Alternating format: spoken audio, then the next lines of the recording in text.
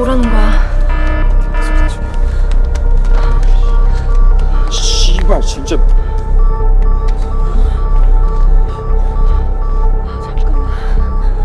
나가지 말라는 거 같은데.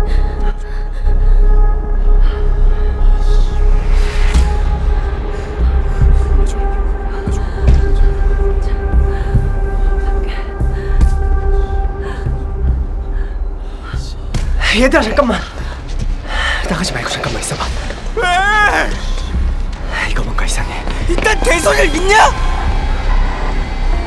씨발 몰라 그냥 가